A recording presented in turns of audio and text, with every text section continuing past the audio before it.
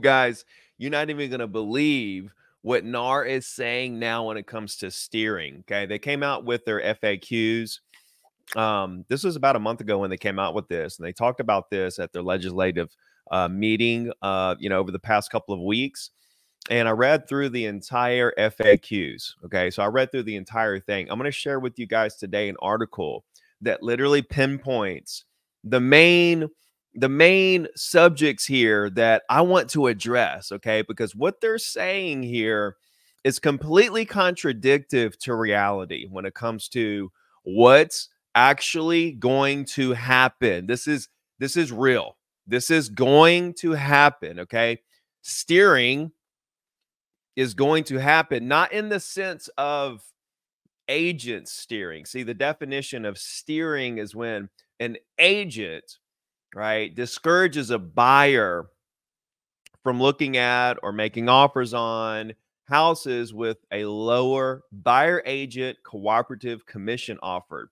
That's not what I'm talking about here. All right. So you're really going to find this interesting. And as we approach, as we get closer and closer to the August 17th date, when all the new rules are set to come into effect, we need to be educated because I said this from day one when all this started to happen, when the trial was going on last year and I was covering it and all that. I said, I said, make no mistake, I will crush this new market, which isn't going to look a lot different. However, there are going to be some new rules. And and and this is what I said, quote, just show me what the new rules are and step right up out my way and watch me crush it. Okay. And this is what I want for you. This is the mentality that I want for you because the market is the market. We get paid a commission that is worth less than the value that we provide, less than the value that we provide. Okay. That's why people are willing to pay. People don't pay commissions, people don't pay for anything that's worth less than the money that they pay ever. That's why they pay the money. They value what they're buying with the money more than the money. Otherwise, they would keep the money. So the fact is, is that the market is the market, and what we get paid now is worth way more than the money that what we do now is worth way more than the money that we get paid. So the amount we get paid is not going to change. All right. It's not. Uh, it, will it look differently? Sure. Will they be buyers that you may or may not work with? Sure. Will the the way that we negotiate and uh, explain things to people will change? Yes. But isn't it always changing? Isn't it always changing? Ask yourself that, right? The, the lending regulations that came out change, change it completely changed things dramatically with the way that we operate that was a change in industry that's not it's it's indirectly uh, related to us right? It's directly slash indirectly it was a, it was a it was a policy in a different industry. Let's you know a different industry. Real estate's the industry. It's a different niche in the industry. You've got the real estate niche right? And then you've got the mortgage niche. When the mortgage rules changed that affected us. Prices inventory right? I mean, for example, the conversations you're having with buyers and sellers this year, is it not different than the conversations you had last year? And weren't those conversations different than you had the year before, right? Based on supply, inventory, prices, etc. Right? The conversations are always going to change. Okay? It's always going to change. Show me the new rules. Step out of the way and watch me crush it. But I want to get into this article. This is from Housing Wire and uh, this really hit hit the main points of what I want to talk about today. So uh, so let, let's dive right in here. So NAR addresses steering in latest settlement agreement update. All right, the trade association says steering is eliminated. Okay, they say it's eliminated. Think about that. It will cease to exist by its commission lawsuit settlement agreement. So, you know, they're wanting the settlement you know, the settlement agreement, they want this thing to go through, man. They're ready for this to be over and they want to put this behind them so that we can get on get on past it and uh, get back to focusing on the things that matter. So, the National Association of Realtors addressed concerns of agent steering in its latest update to its commission lawsuit uh, settlement FAQs. The topic of steering when a buyer's agent or broker prevents buyers from seeing homes that offer commissions lower than uh, than is typical for a market okay which that is impossible in today's world where everything's out there on the on the internet and buyers see the house they want to see they don't care what the commission is they want to see it they want to see it. You can't not show them a home they want to see in today's world. That may exist that may this this may have actually happened 40 years ago right where we're moving towards in a market where there may be a lot more off market properties, maybe due to what's going on. That's going to cause steering, if nothing else. The disclosure and transparency of everything being online and more importantly, in the same portal where you can see everything makes it to where you can't steer. I digress. It's where a buyer's agent or broker prevents buyers from seeing homes that offer commissions lower than is typical for a market or discourages buyers from considering homes that offer lower commissions. As well as, okay, so they take it a step further, as well as they count this as steering, I guess. When a listing agent makes sellers fearful that if they don't offer cooperative compensation, buyers and their agents will avoid their property. Now, pay attention to what it says there. The word that it says it says buyers. Buyers will avoid their property. It says buyers and their agents will avoid their property, but it says the word buyers will avoid their property. I want you to remember that as we move forward. So, this came up in NAR's mid year legislative meeting last month. Okay, according to the NAR's FAQ update, the business practice changes outlined in the Trade uh, Association's commission lawsuit settlement agreement eliminate any theoretical steering. Okay, this, this is like an oxymoron. Like eliminate, cease to exist any theoretical, so imaginary. this this will cease to exist any imaginary steering. NAR argues that be, by requiring agents to have signed a buyer representation uh, agreement with clients uh, prior to taking them on a virtual, virtual or in-person home tour. So you got to get it signed if you're going to do a virtual tour, I guess. Agents will not be able to steer buyers to certain listings that have uh, higher offers of co compensation. Well, you can't really do that now, all right, the way it is.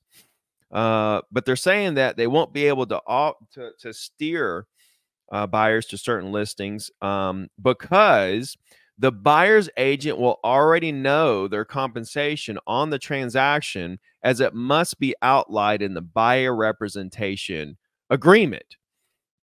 And so basically they're saying that that because there's this agreement, all right, because there's this agreement that the buyers uh, the buyer has signed with the buyer agent spelling out what that compensation is going to be basically what nar says is that at that point there's no way that steering can exist whatsoever because the the the agent already knows the commission that they're going to receive. Okay. Okay that that's fair. That's fair from the agent standpoint but what about the buyer so if they sign a buyer agency agreement and it says, I'm going to pay, you know, the, the buyer agent's going to get, let's just say 3%, right? Let's just do hypothetical. Let's throw it out there. 3%. All right. And then you're looking at homes. This home right here, these three homes offer 3% to the buyer agent, right? But then these four homes, they are offering zero, or maybe they offer 1%, maybe 1.5%. So on those homes, the, the buyer is going to have to come up with the difference. If it's one and a half, the buyer is going to have to come up with the other one and a half as spelled out in the buyer agency agreement. Or if it's zero offered to the buyer agent, then they're going to have to come up with all three on top of buying the house if they can't get it negotiated into the deal with the seller. Okay, so think about this for a second, right? If a buyer's looking at three homes that offer 3% and four homes that don't, which ones do you think the buyer is going to want to see, right? Now, they may love the four homes, right? And the price may work out to even if they pay that extra 1 or 2% or 3%, they're still getting a better deal. So there's all that to be considered as well. But let's say it's all apples to apples. We're looking at all homes in the same neighborhood, same size home, same prices, just different paint colors or something, different countertops, right? Maybe uh, one has a fence, etc. Really small differences in the properties, same prices, and which houses do you think the buyer's going to see? Well, they're just going to see the ones with the 3% included in the price. So the buyer is going to be the one that steers themselves to those properties. Right. And, and this is what I think, and they go deeper here. They go deeper here. But if you remember up here, I said that the, the, the definition that they stated was not just that the agents will avoid their property, but that buyers. So we're not supposed to tell a, a listing agent's not supposed to tell a seller or make a seller fearful that they don't have cooperative compensation. Why? Because all the buyers sign buyer agreements saying that they're going to pay the commission no matter what. Well, up here you said, but what about the buyers that want to go to the houses that offer the buyer agent commission? You said here that the buyers, right? The buyers will avoid their property.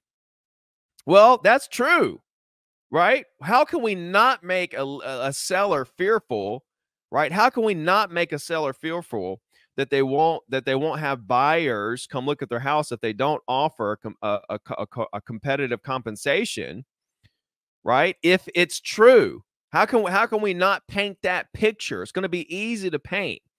Okay. Written buyer agreements required by the NAR practice changes that will be implemented on August 17th, 2024. Is that actually locked in? Because they had it for June and then they push it to August. I haven't heard that that's actually, I mean, as of right now, I guess we're gunning for it. Maybe it'll happen, but I don't know that I've heard that everybody's on board with that. Um, the DOJ, the uh, the plaintiffs, the lawyers. I haven't really heard um, uh, the written buyer agreements, you know, this is required. It will also outline that the MLS participants may not receive compensation for brokerage services from any source that exceeds the amount or rate agreed to in the agreement with the buyer. So, wait a minute. If I sign an agreement with the buyer saying that I'm going to get 2%, 2.5%, even 3%, and the seller uh, and the listing uh, is actually offering me say three and a half. I can't I can't get three and a half. I gotta I can only get the amount that's in my buyer agency agreement. Now they go on to address this in a minute, and, and you'll find this interesting. The FAQ state since a broker working with the buyer cannot receive more compensation than the buyer has already agreed to in that agreement, the amount of any offer of compensation is irrelevant to the buyer broker compensation. This is crazy because, like, they're saying this here. They're saying that because the buyer's agent can't receive any more than what's agreed on in the buyer agency agreement, then what does it matter? It's irrelevant.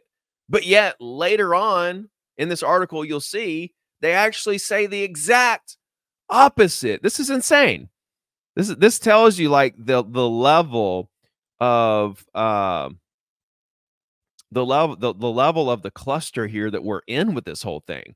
The updated FAQs also address steering done by listing agents. According to NAR, listing brokers should inform their sellers about costs the buyers will incur, how the buyer might react to those costs, and how the seller can market a house considering the buyer cost. But a listing broker must not tell a seller that a broker will steer buyers based on the amount that broker is compensated. Sure, sure, I'm not going to tell them that a broker will steer buyers uh, based on that amount because they won't and they can't. But what I can say, and you're not telling me I can't, is that a buyer will still or steer or will steer a buyer, right? Can I say that a, that that a buyer will steer a buyer based on the amount that that broker is compensated, based on the amount their broker is compensated? Because if if if they don't, then they're going to come have to come up with the difference. They're going to have to come up with a difference. So Yeah, this is going to be such an easy. Now, this is this is going to make things so easy. When you go to listing appointments when we're in this world, all you have to do, guys, is bring the comps and all the data with you, have receipts, show up and say as, as you're talking about the commission and the buyer broker commission and all the things because they're going to be asking you. The the it's so easy to paint the picture.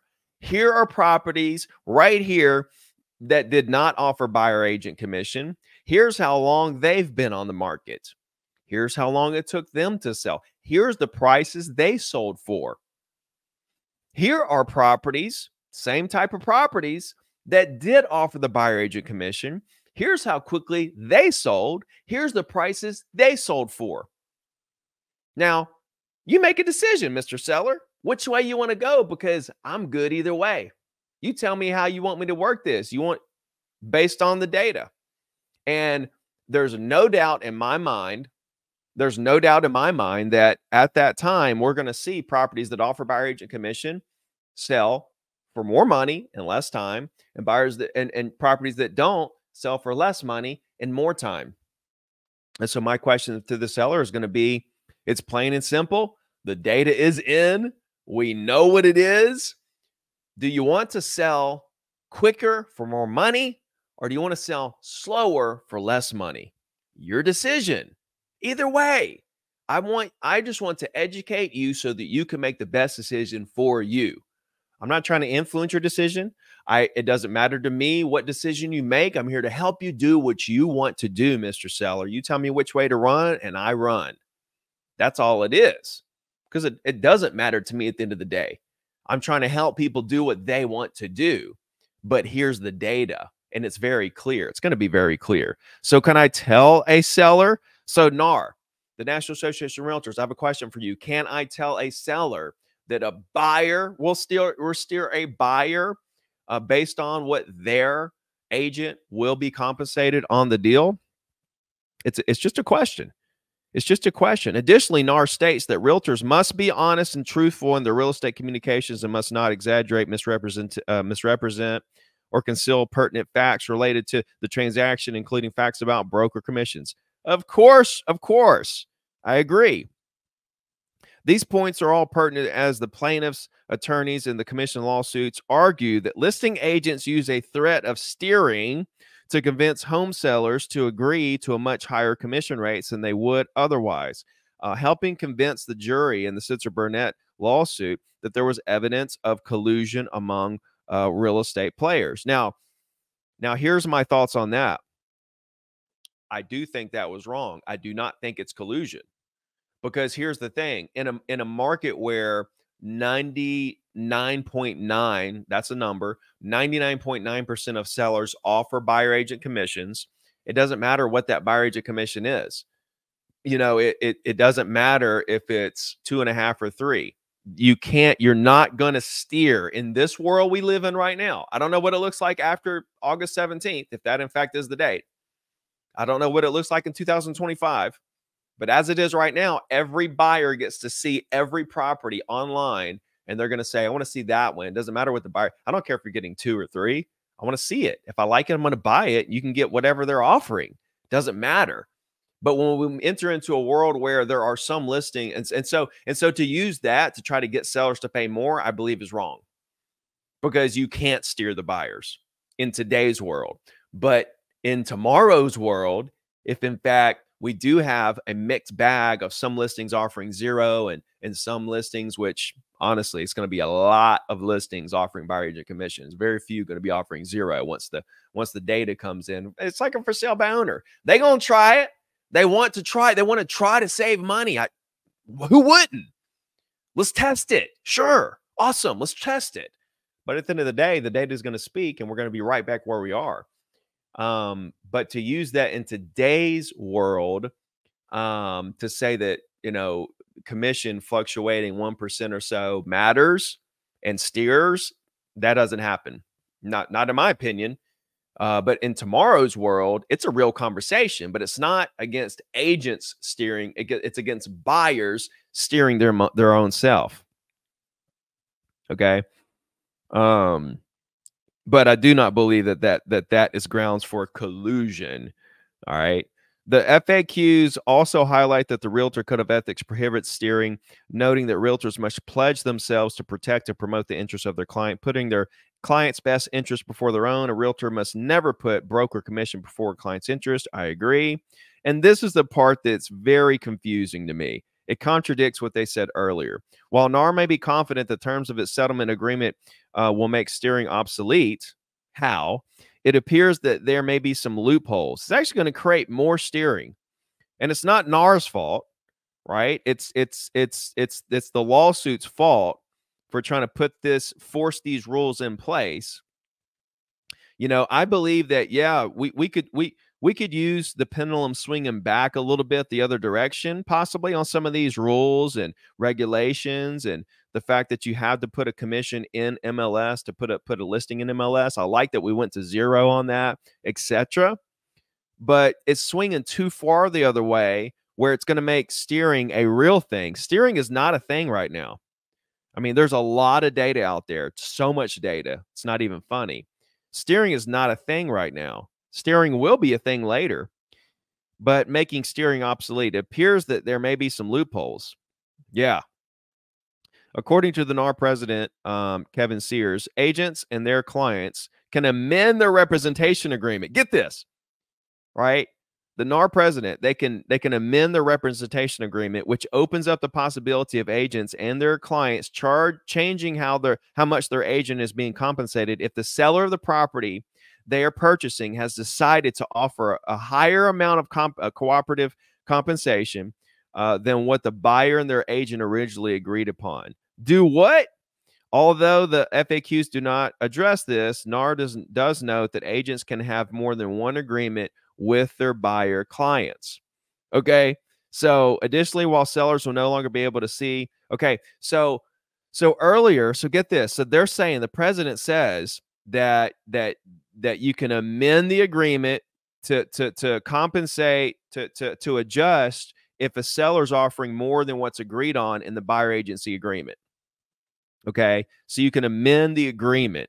Okay. But up here, they literally said that that that the fact that the buyer uh that the comp they that that that since okay since a broker working with the buyer cannot receive more than the compensation the buyer eh, the buyer has agreed to in that agreement the amount of any offer compensation is irrelevant to the buyer broker compensation are you so so up here, you're saying because the buyer can't receive more than what the agreement says, then the compensation is irrelevant and it's not going to cause any steering. But then down here, we see that they say, well, but you can amend the the the agreement if the if the seller is offering more than what you agree to in the in the thing.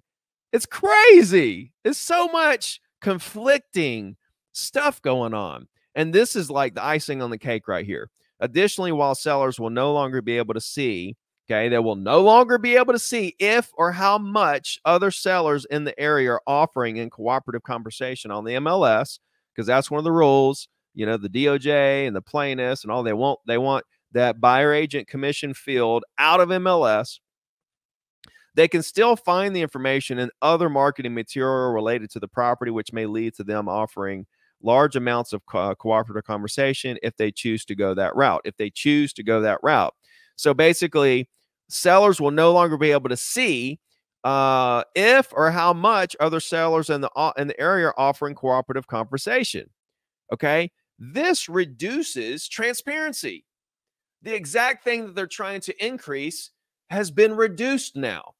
And so we like you're not even gonna like you're gonna have to like search through like remarks and like other marketing materials to see there's gonna be code words like um you know there there con- seller concessions like and you don't even know what seller concessions is. Are they saying like they'll pay for like closing costs and prepaids or can I use this like there's there's going to be so much confusion and lack of transparency around this, it's not even funny.